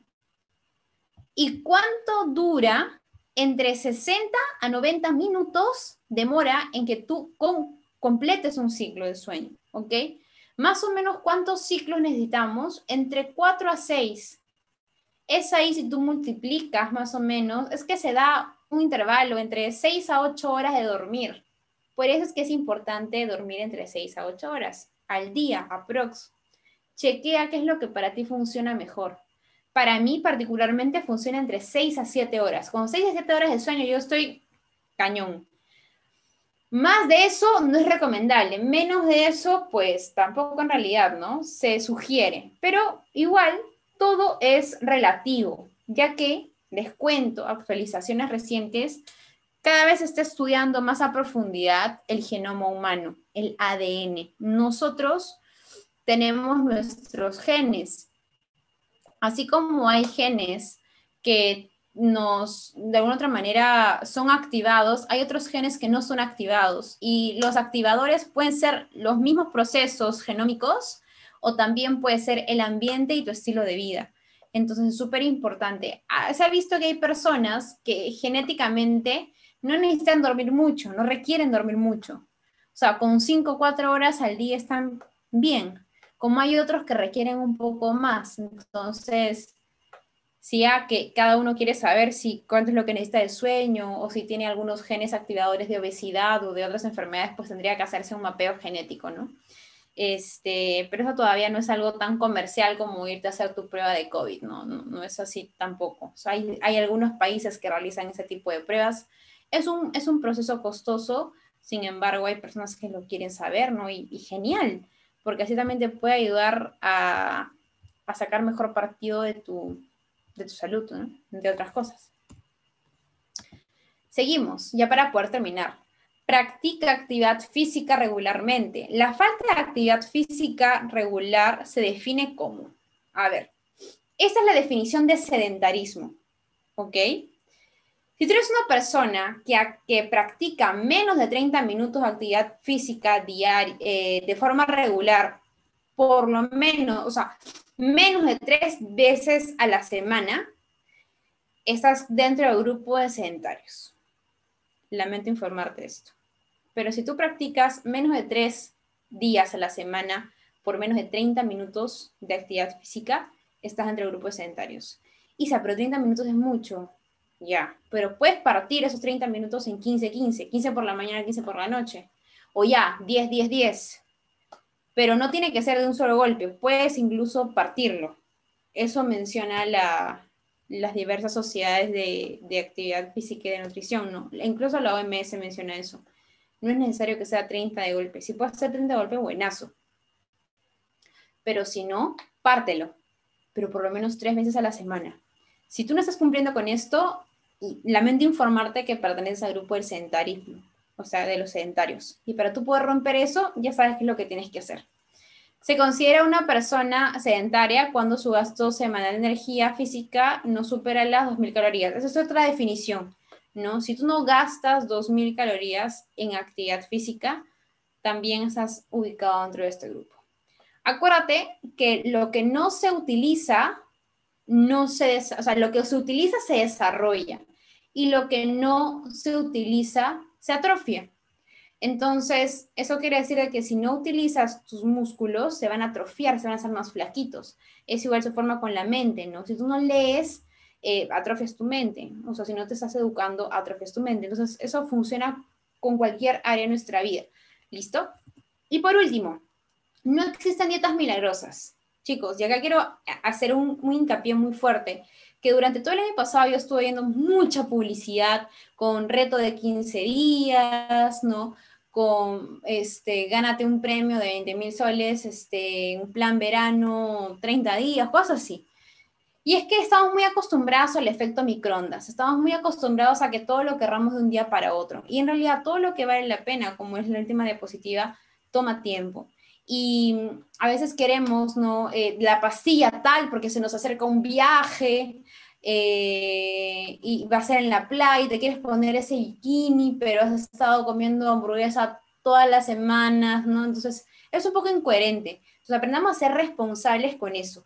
Si tú empiezas a hacer pequeñas, pequeños cambios ahorita, que estamos agosto, créeme de que para diciembre no vas a ser la misma persona físicamente ni mentalmente, porque para tú cambiar tu cuerpo tienes que empezar cambiando tu mente. Y yo les recomiendo de que no se dejen influenciar mucho por lo que diga la balanza, porque porque acá les voy a explicar el por qué. Nuestro cuerpo está compuesto por hueso, por músculo, por agua, por grasa. Básicamente para hacerlo sencillo, ¿ok? Entonces, ¿qué sucede? Eh, hay algo que es más importante que el peso que se denomina composición corporal. La composición corporal es cuál es el porcentaje de, básicamente lo que podemos más que todo medir es la grasa y el músculo, porque tu hueso no va a crecer ni se va a achicar, ¿ok? Y el agua también puede disminuir, ¿ok? O puedes retener más líquidos. Eso va a depender de tu alimentación y de tu actividad, ¿listo? Pero si tú, por ejemplo, eres una persona que empieza a hacer actividad física, vas a empezar a estimular tu musculatura, tus músculos. Y al estimularlos, esos músculos van a empezar a tener que requieren más energía y van a empezar a sacar energía de las reservas propias que tienen, pero cuando se les acabe esas reservas, ¿de dónde crees que van a sacar la energía? De la grasa que está acumulada en tu cuerpo. Entonces vas a empezar a notar que quizás tu piel está cada vez más pegadita. Vas a empezar a notar que tú haces así y sientes tus músculos y dices, uy, ¿qué está pasando? ¿No? Dices, oh, estoy más fuerte. ¿No? Vas a empezar a notar de que ese jean que no te entraba hace dos semanas, ya quiere como que cerrar, ¿no? Entonces, ¿qué está sucediendo? Y tú te ves y dices, no siento nada, muchos cambios. Es más, te pesas y a veces parece que has subido un poco de peso, pero puede ser de que lo que has aumentado en cantidad, mejor dicho, lo que ha crecido es tus músculos y tu grasa ha disminuido. El músculo ocupa menos espacio, pero pesa más y la grasa ocupa más espacio y pesa menos. Por eso es que si tú vas al gimnasio y ves a un chico o una chica súper definida, te apuesto que esa persona pesa. O sea, pesa, pero lo que más pesa es en esa persona es músculo, porque esa persona está construyendo músculo. Y está de la mano con el tipo de ejercicio que hace, ¿ok? Y también eh, el tipo de alimentación que esa persona recibe. ¿Listo? Para aquellas personas que me preguntan en algún momento, quizás, Isa, ¿cuál es el mejor ejercicio eh, o actividad física? Yo voy a recomendar que hagan musculación, que estimulen sus músculos de alguna manera. Puedes hacerlo con peso extra, como en un gimnasio, o puedes hacerlo con bandas de resistencia o con tu propio peso. Si a eso le quieres añadir cualquier otro ejercicio, como por ejemplo baile, salir a correr, algo que tenga que ver más con la parte cardiovascular, también está fabuloso. Pero el estimular el músculo, ok, propiamente, con resistencia, con fuerza, trae beneficios sorprendentes con nuestra salud. Entonces, para poder cerrar, ok, todo lo que vale la pena toma tiempo. ¿ok? Si nosotros queremos cambiar nuestros hábitos, acuérdense que tenemos que reemplazar nuestros hábitos actuales por nuevos hábitos. Y en el tiempo nos vamos a dar cuenta de todos los cambios que se van a desarrollar porque van a ser evidenciados con nuestra mejor actitud, mejor semblante, incluso, ¿ok? Mejor disposición. Muchas veces el líbido ¿ok? Y esto para cerrar, disminuido, está relacionado por una falta de, de, salud, ¿ok? No hay una adecuada alimentación, a veces la testosterona está por el suelo y obviamente no hay líbido, ¿ok? Entonces, o quizás la mujer está recibiendo algún tipo de eh, tratamiento hormonal que también está atacando un poco esa área. Entonces es súper importante que si sientes que hay algo que no está del todo adecuado contigo, vaya a un profesional, anda a tu ginecóloga, anda a tu endocrinólogo y puedan ver qué es lo que está pasando, anda a un nutricionista que te puedan orientar a poder llevar tu salud a un estado, primero, llevar tu estado de enfermedad actual a un estado de salud óptimo y luego ir a un siguiente nivel y poder seguir mejorando, mejorando, mejorando. ¿Ok? Así que muchísimas gracias por la invitación nuevamente. Muchísimas gracias a la Universidad de César Vallejo de Trujillo por la invitación. Ahora quedo atenta a sus preguntas. Genial, genial. Saldremos de aquí como cracks en el tema. De seguro. Chicos, si tienen preguntas pueden ir enviando. Mientras tanto, les voy a compartir el link para la asistencia de hoy. Muy atentos. Vayan llenando. Aquí les dejo uno, dos, tres y ya. Recordando que tiene una palabra clave y súper atentos para la palabra. La palabra clave es hábitos. Apúntenla. Palabra clave, hábitos. Eso deben poner en el formulario, digo, en su asistencia, en el link que he enviado al chat. Isabel, estamos muy agradecidos contigo por la ponencia de hoy, por brindarnos su tiempo, sus conocimientos y también por formar parte de esta increíble actividad. De hecho, cerramos con broche de oro. Eh, aquí vamos a ver algunos agradecimientos también de, de Melissa, de Joana. Bien, chicos, mientras van, van llenando sus asistencias, voy procediendo con la lista porque luego tendremos sorteo. Uh. ya, aquí tenemos eh, una consulta de Joana. ¿Qué recomiendas sobre el yoga? Ay, se me perdió. El yoga y la meditación.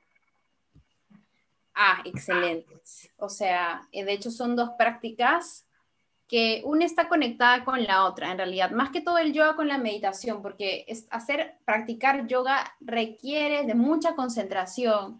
Eh, si lo haces solo porque ya lo vienes haciendo, ¿no? Etcétera, o si lo haces con alguien que, te dirige o videos en YouTube, yo les recomiendo.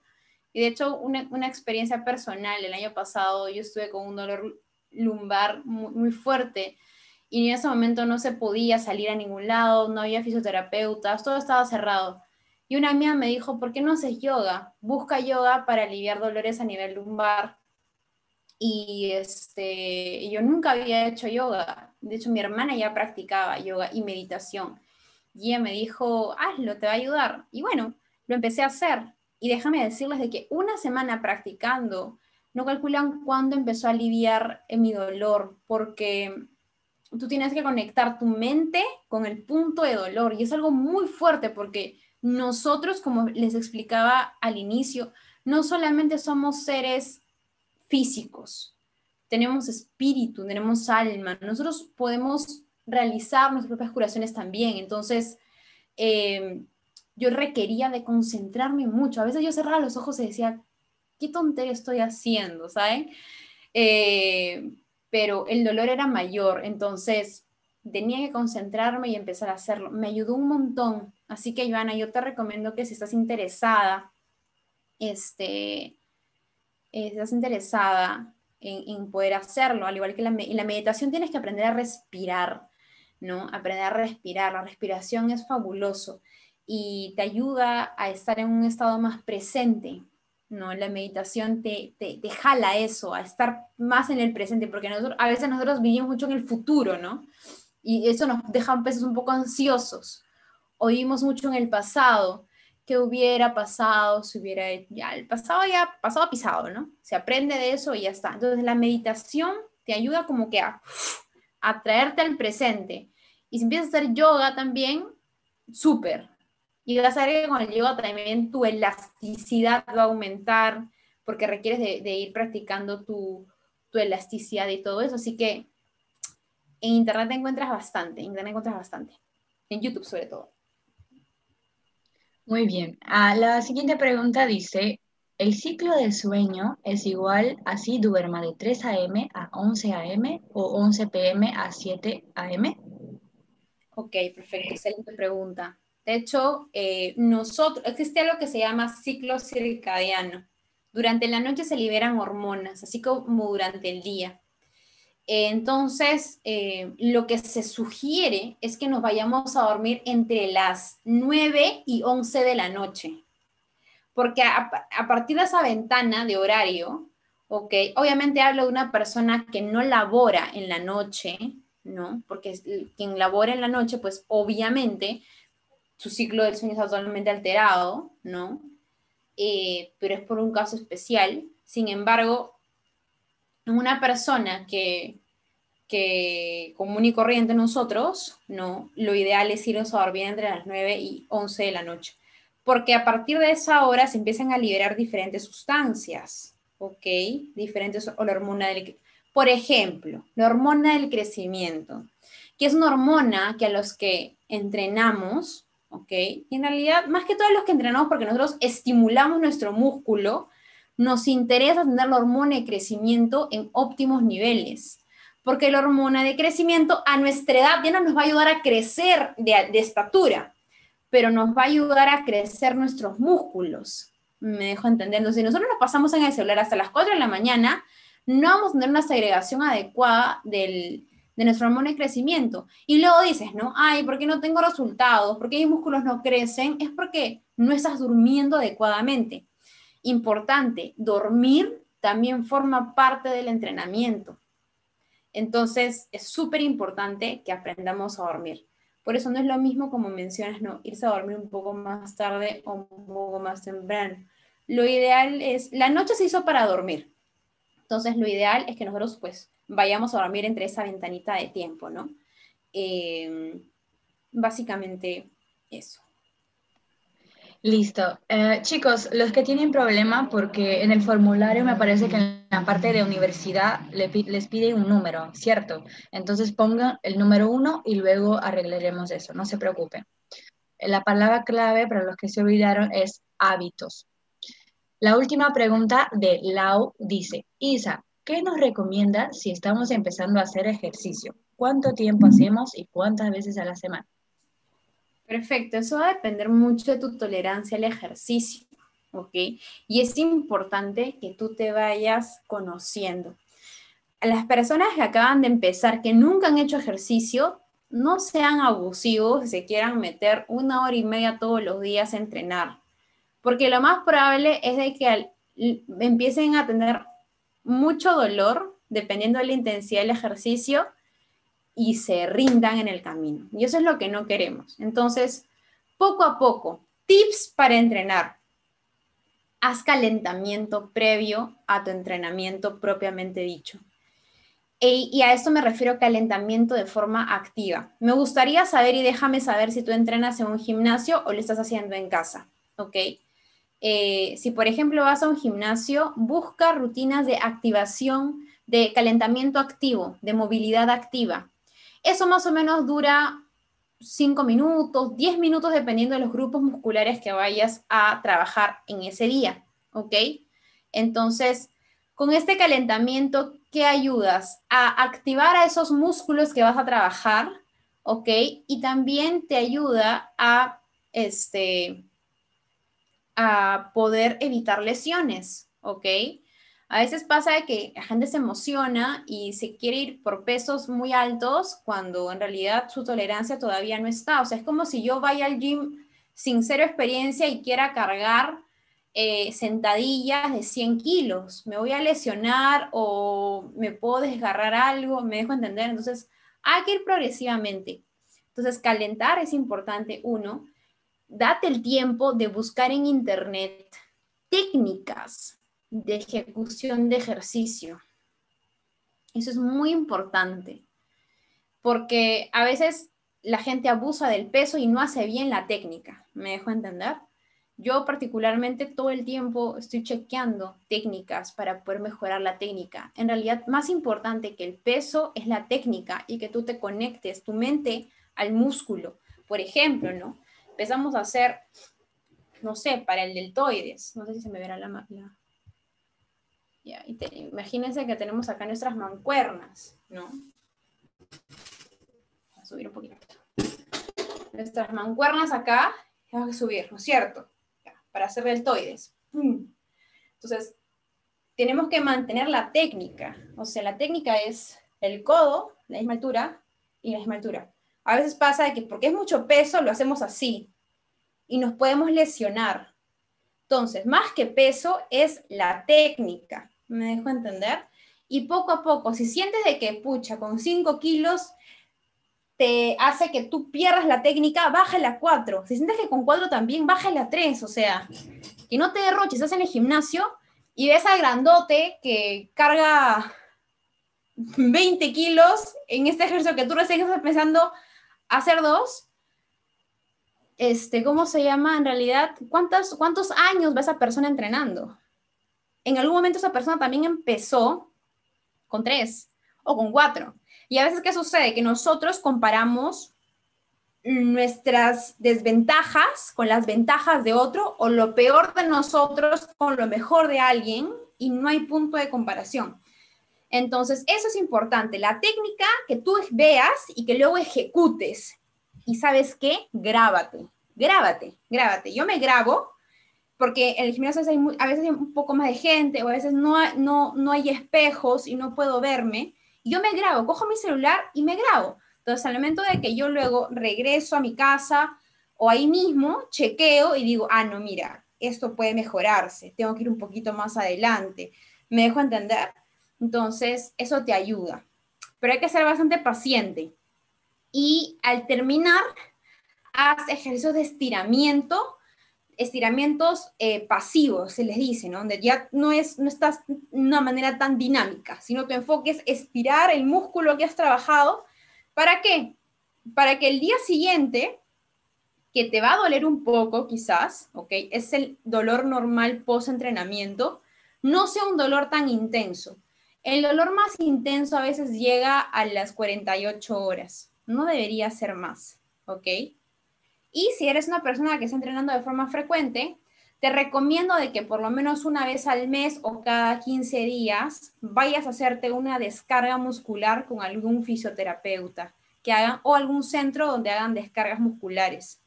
Las descargas musculares te va a ayudar a poder liberar tensión en el músculo y luego, luego de tu descanso de post terapia de 24 horas, durante 24 horas después de la terapia no hagas ejercicio, ¿ok? Y luego vayas a continuar con una mejor performance. Entonces, eso es lo que podría darte. Hidrátate bien durante el entrenamiento, ten siempre tu agua durante el entrenamiento, ¿ok? Y anda tranquilo. Si por el motivo sientes de que te falta, no sé, el aire, Respira, busca videos de cómo respirar durante el entrenamiento, también es importante. Este, si sientes, por ejemplo, que has desayunado y a, las a la hora te estás yendo a entrenar y sientes náuseas, pues mejor anda en ayunas a entrenar. O si sientes que necesitas comer porque si no medio que te me desmayas, entonces come algo. Es algo que tú vas a tener que ir manejando, ¿ok? Es muy relativo, es muy relativo. Este, eso es lo que podría darte como recomendación con respecto a la parte de, deporte. Y le voy a dejar en los comentarios. Hay una persona que a mí me gusta bastante, que yo siempre sigo en, en Instagram, que se llama Anthony Montalbán. Es un peruano. Este, si no me equivoco, es de Iquitos, pero vive aquí en Lima. Anthony Montalbán. Síganlo. Es un capo. Se llama The Trainer. T-R-4-I-N-E-R. Así lo encuentran en Instagram, trainer. Y siempre da tips de ejecución de ejercicio. Es muy capo. Yo he aprendido muchas cosas con él, por ejemplo. Genial, Lisa. Aquí hay una pregunta bonus. Dice, ¿la yoga sirve para ayudar a aliviar dolor muscular? De hecho, sí. Lo que pasa es que, a, mí, a mí me sirvió eh, ahí me sirvió porque eh, practicar yoga te motiva y te reta a que puedas realizar ejercicios de estiramiento. Nosotros no estamos acostumbrados a realizar ejercicios de estiramiento, ¿ok? Entonces, hacer yoga te reta a hacer eso. Entonces, a veces pasa de que tú estás contracturado, pero es porque tu músculo está así, pero ¿qué pasa si tú poco a poco con yoga o con alguna otra actividad física empiezas a soltar el músculo? El dolor se, a veces se, va y tú dices, ¿por qué me dejó de doler? Eh, y es porque estás estirando la musculatura, ¿no? Entonces, ¿trae beneficios? Sí, por supuesto. Disminuye, hay estudios que mencionan, disminuye la presión arterial, te mantiene en un estado más zen, te ayuda a tener mejor discernimiento al momento de ejecución de actividades, eh, te ayuda a tener una mejor postura. ¿Qué más? Un mejor equilibrio también. Pilates también es excelente, ¿no? Sin embargo, por ejemplo, yo no tomaría el yoga, yo no tomaría los pilates como mi actividad física de fondo. Yo lo tomaría como un complemento que va a potencializar lo otro pero mi actividad física de fondo siempre yo recomendaría y recomendaré la musculación, ya sea con peso corporal, con peso extra en casa o con este peso un poco más grande en, en el gimnasio. ¿Ok? Porque los beneficios, en algún momento me encantaría hacer una ponencia acerca de actividad física y todos los beneficios que trae realizar actividad física.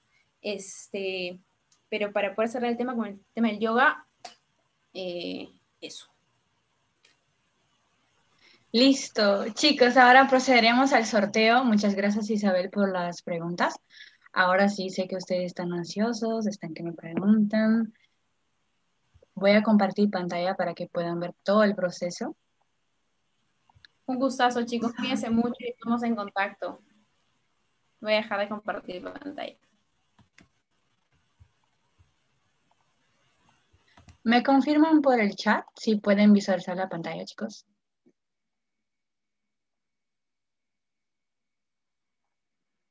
Ok, listo. Entonces aquí están todos los participantes que han llenado correctamente su asistencia y vamos a sortear. Ok. Dice que Marlene está dos veces. Ok, vamos a apagar porque está repetidos estos nombres.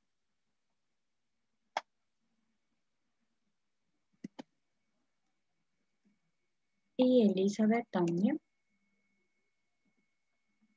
y Julio.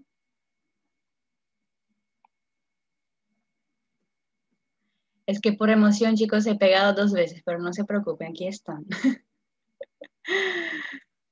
Fue la emoción nada más. Ahora sí, creo que ahora sí. Bien, la sorteada es Ángela Caroline Lu Roncal. Qué nombre bonito. Nombre hermoso. Voy a pedir que mm, Ángela pueda comunicarse con uno de los administradores de nuestro grupo para identificarse como la ganadora de la ponencia 6. Y chicos, para cerrar este día especial con broche de oro, deseamos que todos eh, los conocimientos transmitidos sean de gran provecho para cada uno de ustedes. Llegamos al final de ese curso, esperamos encontrarlos en otras oportunidades. Les deseamos lo mejor a todos, muchos éxitos y hasta luego. Buenas noches.